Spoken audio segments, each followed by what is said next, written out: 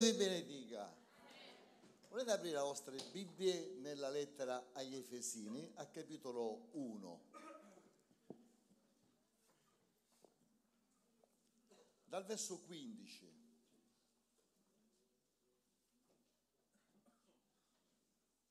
Leggiamo, perciò anch'io avendo udito della vostra fede nel Signore Gesù e del vostro amore verso tutti i santi, non cesso mai di rendere grazie per voi, ricordandovi nelle mie preghiere, affinché il Dio del Signor nostro Gesù Cristo, il Padre della gloria, della gloria vi dia lo spirito di sapienza e di rivelazione nella conoscenza di Lui.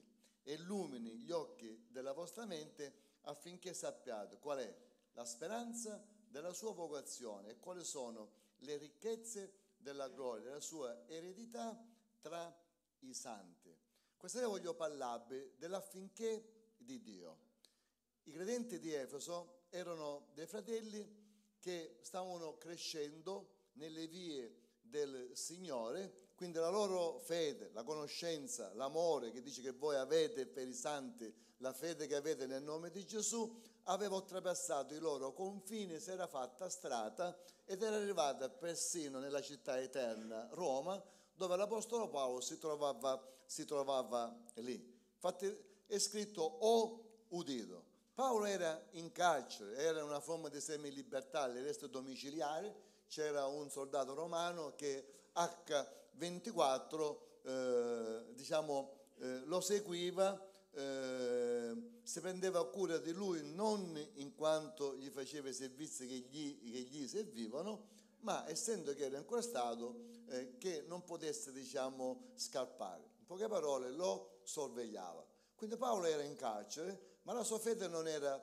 non era incatenata, non era incatenato l'amore che aveva per il Signore, non, aveva, non era incatenata la passione che lui, che lui aveva non soltanto per il Vangelo, ma questo uomo che aveva un grande desiderio, che il desiderio non è solo quello di fondare chiese, che il numero delle chiese potessero crescere, ma che i credenti che erano all'interno delle chiese potessero progredire nelle, nelle, vie, nelle vie di Dio.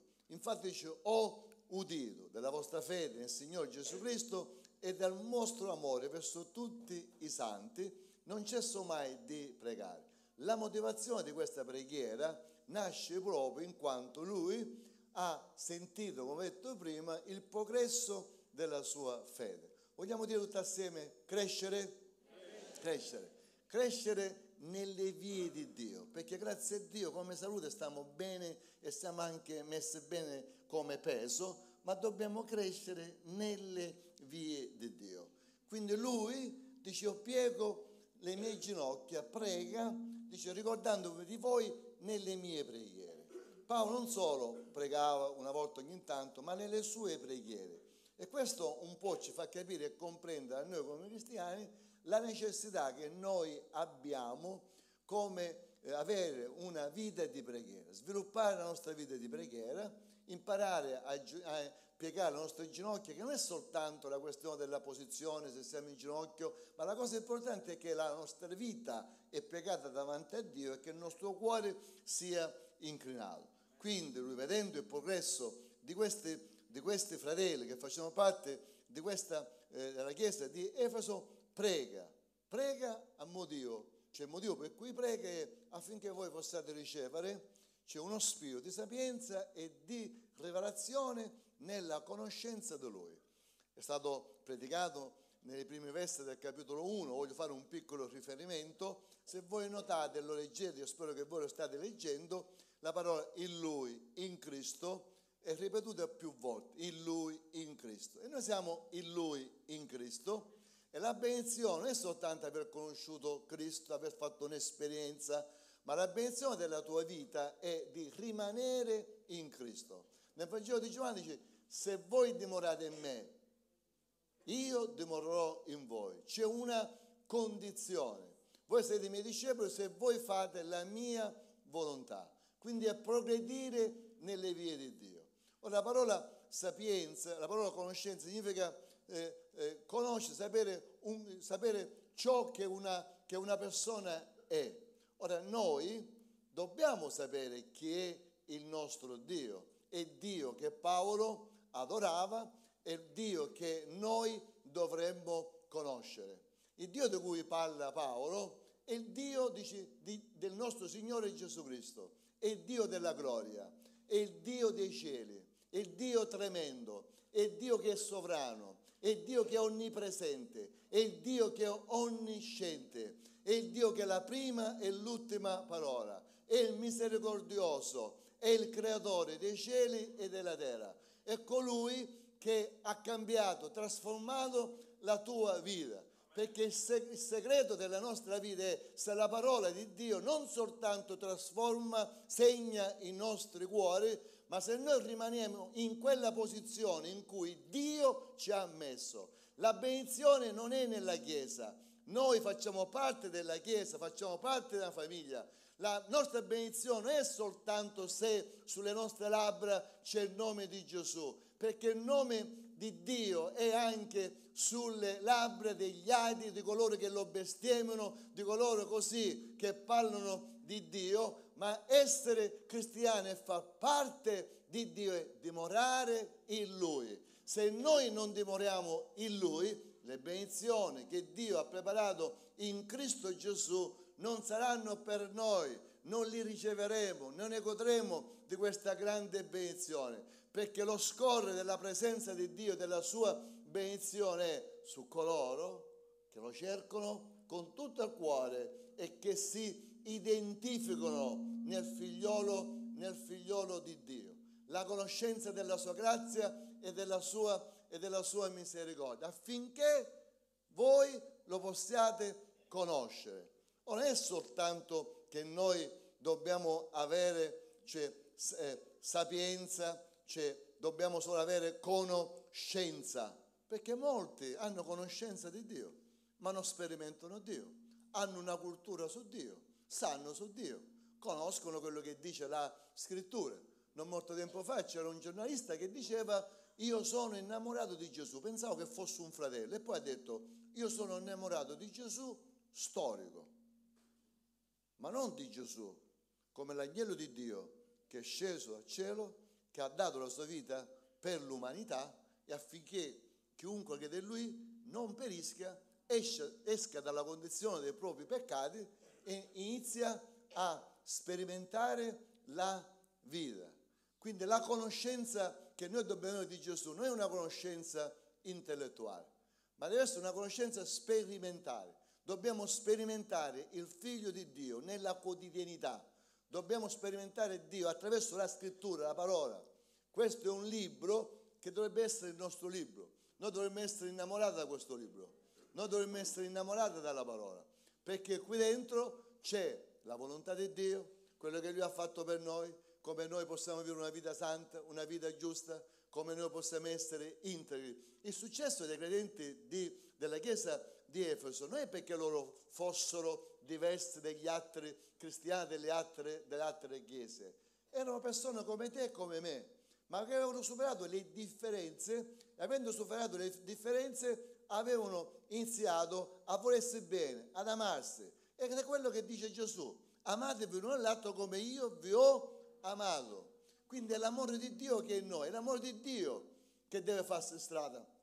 Gli altri devono udire, non del lamento, no, perché non siamo mai contenti, ma gli altri dovrebbero udire della gioia che c'è nel nostro cuore, della felicità che Cristo ha portato in noi, in quanto noi siamo grati a Lui per quello che Lui ha fatto per ognuno di noi. Amen. E ha fatto tanto per noi, non soltanto duemila anni fa, ma lo fa ancora oggi. Ecco perché la scrittura dice che in lui abbiamo tutto quello di cui noi abbiamo bisogno, ogni ricchezza.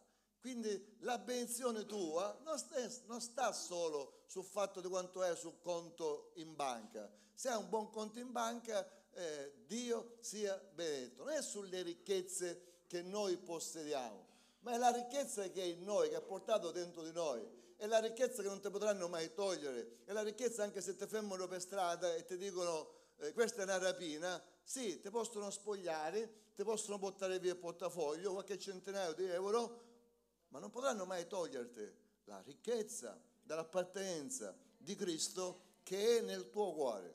Nemmeno se ti sguaccio, nemmeno se tirano fuori il, il, il tuo cuore fuori. Quindi l'impero romano non poteva togliere quello che Paolo viveva, di quello che era la passione.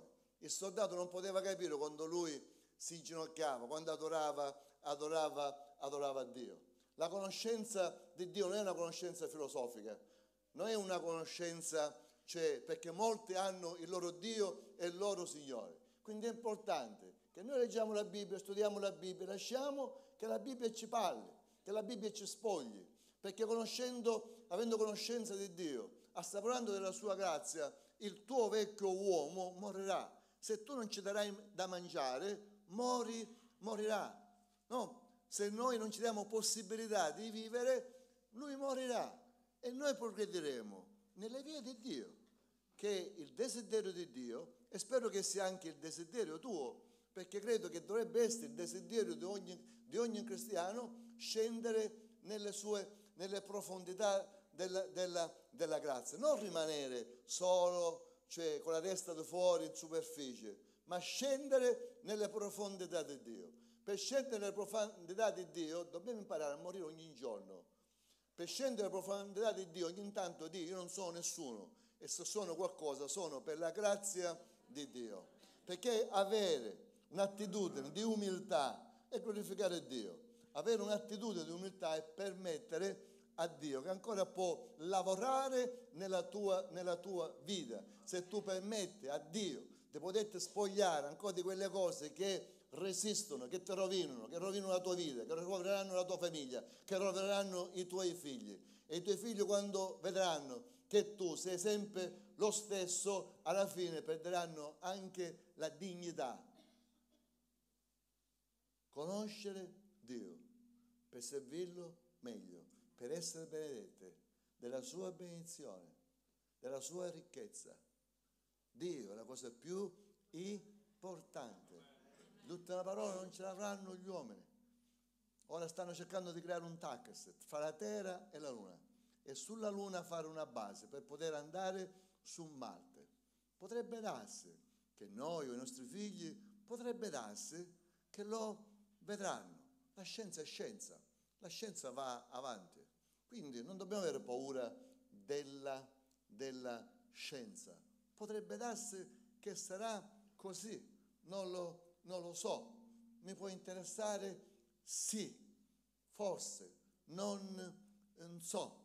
Ma la Bibbia dice che fra non molto tempo non ci sarà un astronauta che scenderà con la tuta, perché hanno detto che sulla Luna eh, a volte la temperatura scende 200 sotto lo zero, puoi immaginare, no? E poi c'è l'esposizione che è al sole. Non mi interessa a me tanto, non è questo quello che mi appassiona, che non mi fa dormire la notte, ma una cosa è certa, non so quando, non, forse non troppo tardi, verrà uno che scenderà dal cielo, non con la navetta, ma cavalcando un cavallo bianco.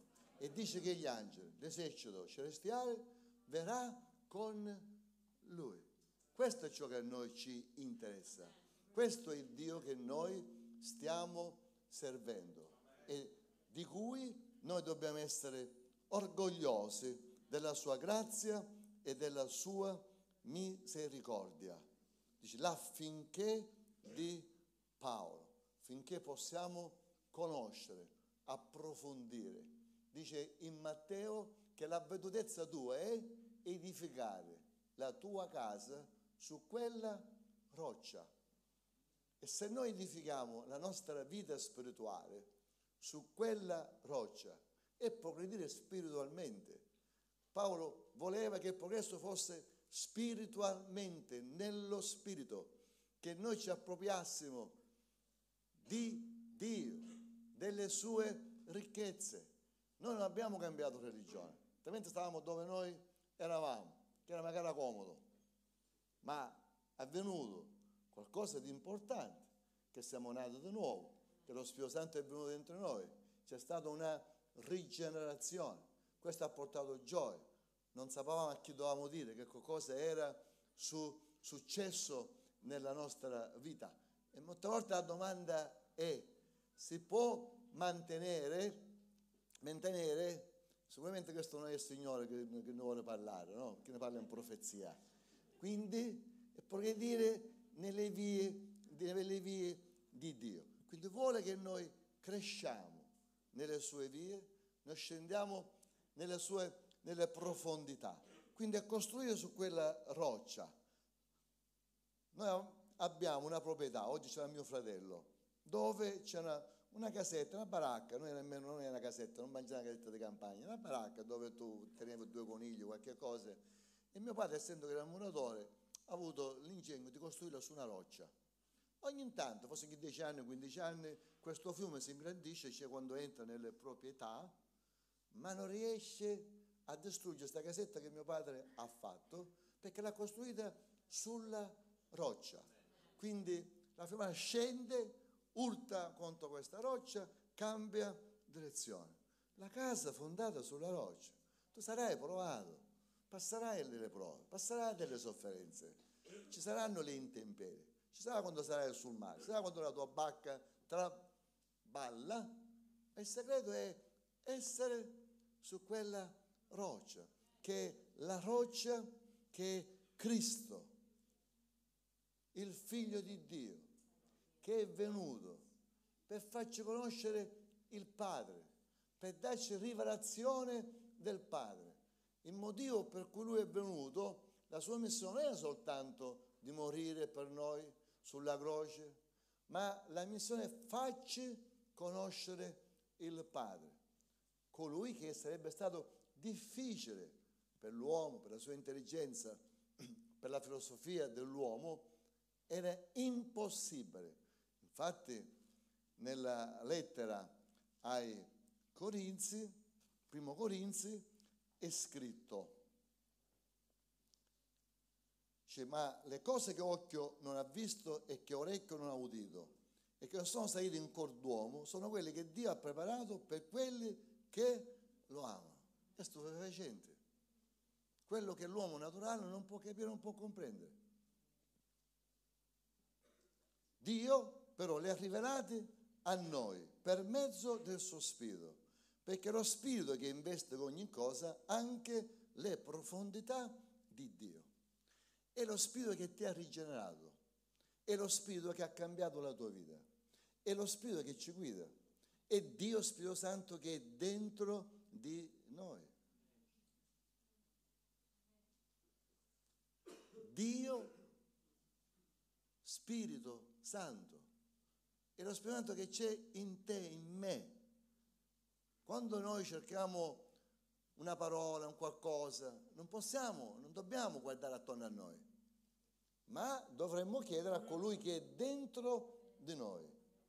Chi tra gli uomini infatti conosce le cose dell'uomo? se non lo spirito dell'uomo che è in lui. E se tu ti fermi e tu rifletti su te stesso, sai quanto fesseria hai fatto nella tua vita, forse, no? Quindi sai qual è la nostra vita. Chi più di Nicola Spuria conosce Nicola Spuria? Lo spirito dell'uomo conosce, conosce l'uomo. Così pure nessuno conosce le cose di Dio. Nessuno dice conosce le cose di Dio, se non lo spirito di Dio. Quindi non soltanto noi avere, abbiamo bisogno di conoscenza e di sapienza, ma abbiamo bisogno di che cosa? Della rivelazione dello Spirito Santo. Lui ci rivela le profondità di Dio. Ma per, finché le profondità di Dio, affinché tu abbia rivelazione di Dio, ti deve prendere il tempo, ti deve fermare, deve chiuderti in una stanza, deve staccare il cellulare, deve leggere la scrittura, deve leggere la parola. E prima che inizi a leggere, di Spirito Santo, guidami in questa lettura. E lui inizia a parlare nella segretezza del nostro cuore. Cambia il corso della nostra vita, cambia il nostro carattere, cambia il nostro modo di, di, di pensare. Perché siamo in, in Cristo. Siamo in Lui, siamo nel Figlio di Dio. un cambiamento, spero, una trasformazione è iniziata. Il tuo modo di parlare, il tuo modo di pensare, il tuo modo di, ra- di, di ragionare, di vivere nella pace, di amare i tuoi nemici, non è qualcosa che a noi dovrebbe costare, perché è costato a Lui. E togliete quel modo di parlare, no? che molte volte diciamo se non fosse per Dio, e per chi dovrebbe essere? Ma scusami, se non fosse per il Signore, e perché? Dio insiste. Per chi dovrebbe essere? Quindi, colui che pure nessuno conosce, che è Lui. Così pure nessuno conosce le cose di Dio, se non lo Spirito di Dio. Or noi, diciamo, noi, non abbiamo ricevuto lo Spirito del mondo. Eravamo nel mondo, eravamo nel peccato, eravamo erranti, come pecore. Non avevamo la salvezza, ma nel passato. Quindi, dice l'Apostolo, ma lo Spirito che viene da Dio affinché, l'affinché di Dio, l'affinché di Paolo era che i fratelli di Efeso che stavano crescendo bene progredissero ancora di più nelle vie di Dio, potessero ancora approfondire la loro conoscenza.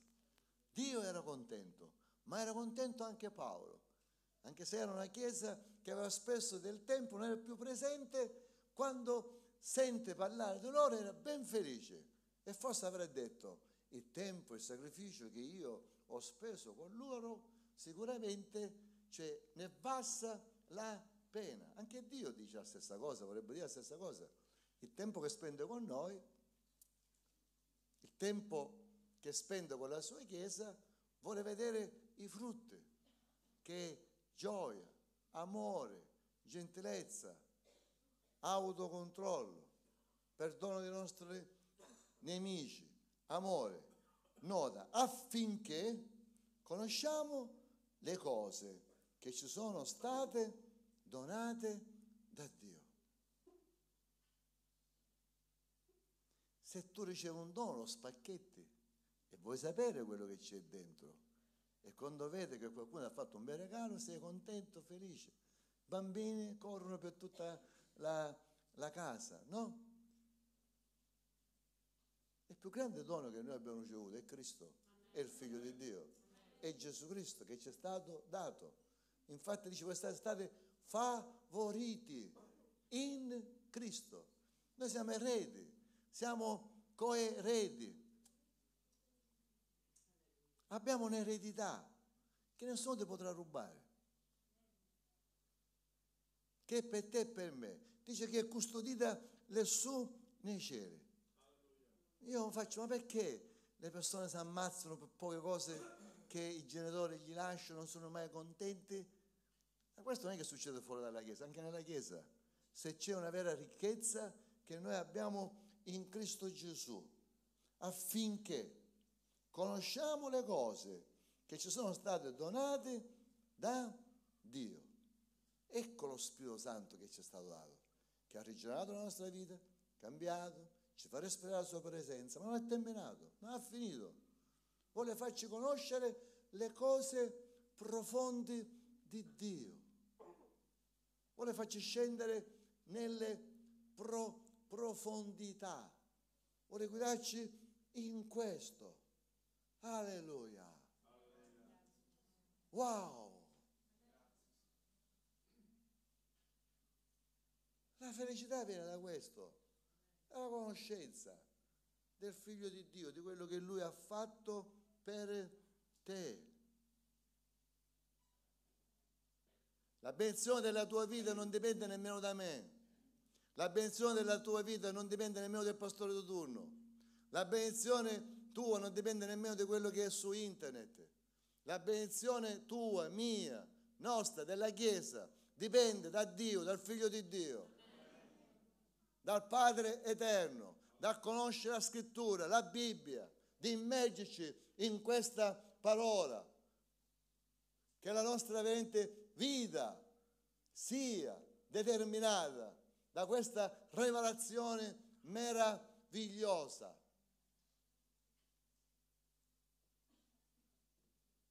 L'amore di Dio, la sua paternità, desidera che noi cresciamo in Lui. Quindi la cosa importante, dice Paolo, avendo saputo sulla loro fede, l'amore che avevano l'uno, l'uno per l'altro, si servivano, si amavano, non guardavano basso, guardavano alto.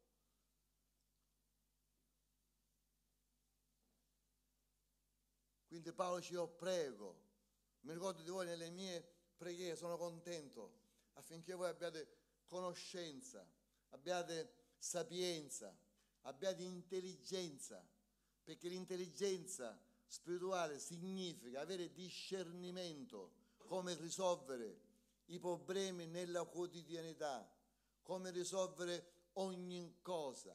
Questa intelligenza spirituale che Lui ci ha dato. Noi non dovremmo mai avere mani fra i capelli, noi non dovremmo essere mai disperati, noi non dovremmo essere mai tristi. Non sto dicendo che noi non passiamo un momento difficile, un momento particolare, che non c'è un momento quando siamo giù, quando abbiamo... Non sto dicendo questo, non è il messaggio, è, non è questo, ma illumini gli occhi del vostro cuore. Nella mia versione Diodati dice della mente, in un'altra versione, versione dice dei vostri cuori. Quindi vi dia sapienza, vi dia conoscenza, vi dia rivelazioni, illumini gli occhi dei vostri cuori. Quando la mattina io mi alzo con cristiano, spalanchiamo le persiane, vogliamo che la luce entri. Forse qualcuno li chiude, ci piace stare al buio. Chi sta depressivo, non fare queste cose. Spalanca le finestre. È un periodo che è come se fossimo in primavera, giusto? Stiamo avendo giornate meravigliose. Spalanca, apre, lascia che la luce entri a casa tua, spalanchiamo il nostro cuore affinché la sua luce illumini la nostra vita, il nostro cuore, la nostra esistenza. Alleluia. Amen. Dice, allargate il vostro cuore al figlio di Dio, allargatelo alla grazia di Dio. Concludo. Paolo cosa dice l'ultimo? La vostra posizione in Cristo, in Lui, in Lui, in Lui, nel Figlio di Dio, che è il Figlio alla vita eterna, che non ha il Figlio non ha niente, nel Figlio. Oggi è una giornata importante per i catanesi, triste per noi, non perché siamo qua, perché una città che va dietro un pezzo di gesso. E c'è chi cerca aiuto, c'è chi cerca la grazia e la trasportano, non lo dico questo perché noi eravamo anche noi idolatri, questo è il mondo che è attorno a noi. E abbiamo una responsabilità che loro, come Paolo, sentì, udì, che anche gli altri possono dire quello che Dio ha fatto nella tua vita. Fare un post su Facebook e condannare questo non serve a niente. E se tu lo condividi non hai capito niente, perché ti sei dimenticato di dove Dio ti ha preso. No? Che anche tu, anche io, eravamo come loro. E se oggi non siamo più come loro, è per la grazia di Dio, che Dio ha fatto un miracolo. Quindi Dio ha dato in Cristo sapienza, conoscenza, intelligenza per poter noi vivere secondo il proposito di Dio. Concludo con le parole che Paolo dice, in Lui viviamo, ci muoviamo e siamo. Che noi ne abbiamo fatto un motto, ma non è questo. In queste parole c'era tutto la vita, l'esistenza, il servizio di quello che era l'Apostolo Paolo, che è stato incontrato dall'amore di Dio. La sua posizione era in Cristo e non aveva alcuna intenzione di scostarsi da quella posizione. Vivo, vivo nel figlio di Dio, vivo della sua grazia, sostenuto dal suo, dal suo amore e servo il figlio di Dio. Vogliamo alzarci in piedi e spalanchiamo le porte del nostro cuore. E adoriamo il figlio di Dio, adoriamo Dio Padre, adoriamo la sua grazia, benediciamo la sua parola, benediciamo quello che lui ha fatto per noi. C'è motivo di essere grati a lui, c'è motivo di ringraziarlo, c'è motivo di far sentire le nostre voci, c'è motivo di dire Signore grazie, grazie per quello che tu hai fatto per me, grazie per gli strumenti che tu mi hai dato, grazie per il tuo Santo Spirito che non mi serve solo per parlare in lingue, ma il tuo Santo Spirito è Dio Spirito Santo che mi è stato dato e Lui schiude ciò che sono i misteri, mi rivela della tua grazia e della tua benedizione io lo amo, lo servo, ne sono sottomesso perché io voglio scendere nelle profondità. Non voglio accontentarmi di dove sono arrivato, perché c'è di più, di più, di più della sua presenza. Non è una questione di cultura, è una questione spirituale, è una cosa sperimentale. Per sperimentare Dio dobbiamo stare con Lui, dobbiamo ritagliarci il tempo, dobbiamo dargli l'importanza, dobbiamo lasciare soldi a contare, perché è un appuntamento con Lui, Dio, l'assoluto, il sovrano, il Signore dei Signori, l'onnisciente, l'onnipresente. Dobbiamo goderci qui sulla terra, già assaporare quello che sarà l'eternità, perché è impensabile se tu non ti godi Dio qui sulla terra, tu te lo potrai godere un giorno per l'eternità. Non insegna questo la scrittura. Ecco cosa significa essere in Cristo perché dice se uno non è in Cristo e fa un esempio dei tracci, della vite, saranno tagliati, saranno buttati nel fuoco. La tua vita come la mia vita ha valore, ma Dio ha dato valore. Per questo noi onoriamo Dio, serviamo Dio, lo amiamo, ci comportiamo bene, viviamo secondo la sua parola, lasciamo che la nostra vita sia un foglio bianco alla sua presenza e Lui possa scrivere.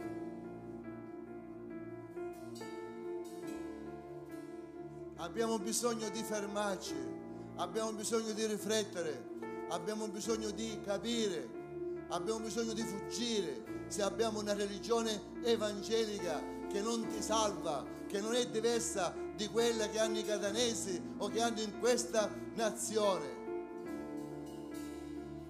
è la sua presenza, è la sua benedizione, è la sua essenza, l'essenza. Cristo è l'essenza del Padre che è venuto per farci conoscere il suo amore eterno. Lasciamo che la sua parola oltrepassi i nostri cuori, oltrepassi la nostra anima e rilasci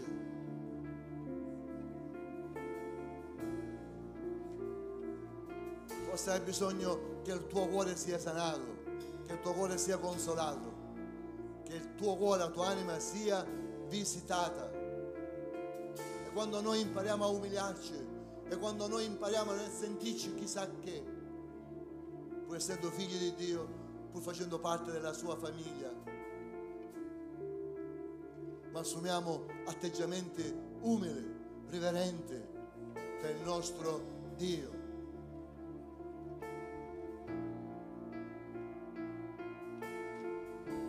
Vieni Signore questa sera, vieni perché abbiamo bisogno di, di te. Non è l'organizzazione, no Signore, assolutamente, è il tuo spirito, è la tua misericordia che abbiamo bisogno nelle nostre famiglie, nelle relazioni con i nostri figli,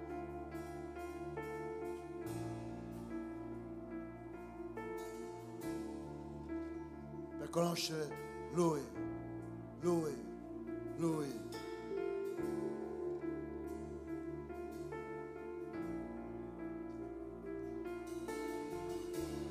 Ralamashanta rakita lamasita lamashure. Ralamashure te recore spegete wetewe. E ralamashure te recore e reke te reshire te recore splegetegli. O ralamashire te re.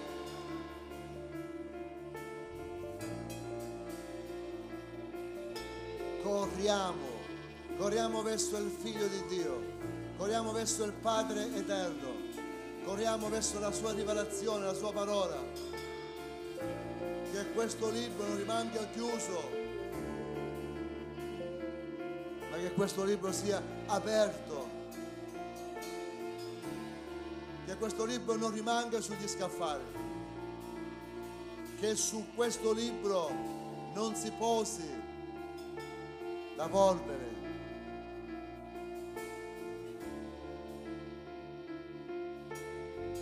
Io piego le mie ginocchia, dice Paolo. Era vecchio, anziano, era lì, nonostante ciò, aveva un cuore, aveva una preoccupazione per la Chiesa, affinché la Chiesa potesse conoscere di più Dio. Dio.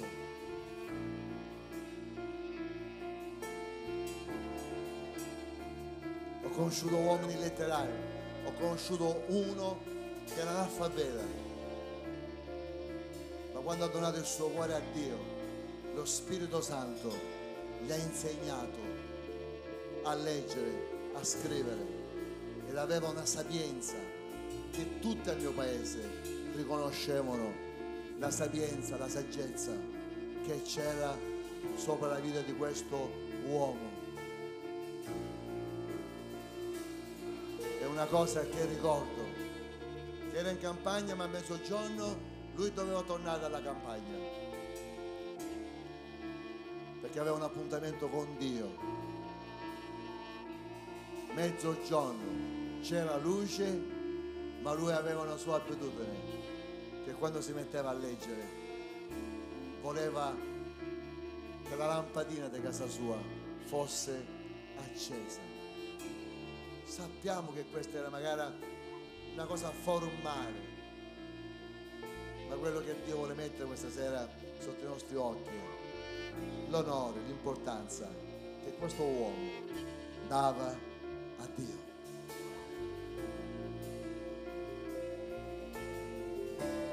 Orikale mashinda la kita la masita la mashula, arala mashula tarraka la masita, il re che te rescire te recola ma.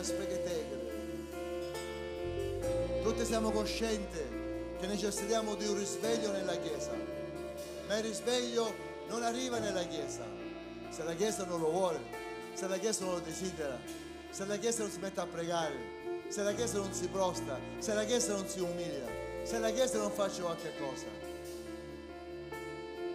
se la Chiesa non piega le sue ginocchia, se la Chiesa non restaura l'altare sul quale ogni uomo, ogni donna singolarmente offre i suoi doni, le sue preghiere, i suoi ringraziamenti. Ralamashondore Kalamashore, Ralamashore Kere Ramai Lama, Ralama, Ralamashore Ke, Ere Kalamashore, Ralama,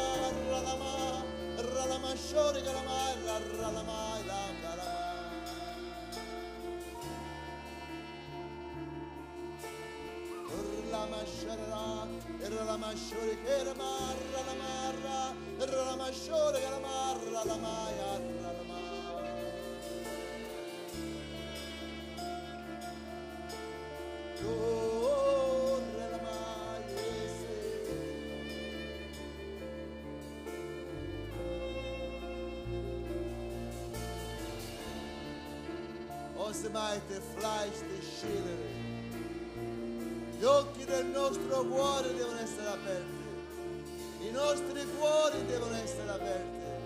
I nostri cuori devono essere donati. I nostri cuori devono essere nelle sue mani. Noi mai te shuele karakita. quando la tua vita sarà una pasta nelle sue mani e lui potrà fare quello che vuole e quando lui può impastarla allora sì allora sì allora sì che la Chiesa uscirà dalla sua crisi nel suo stato quo in cui si trova.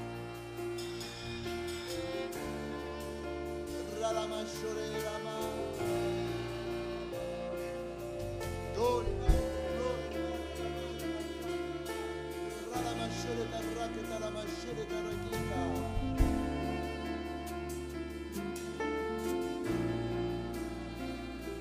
Una sinfonia dovrebbe uscire, ma abbiamo difficoltà, sì, perché ci siamo accontentati dai, dalle briciole, ci siamo accontentati delle piccole cose.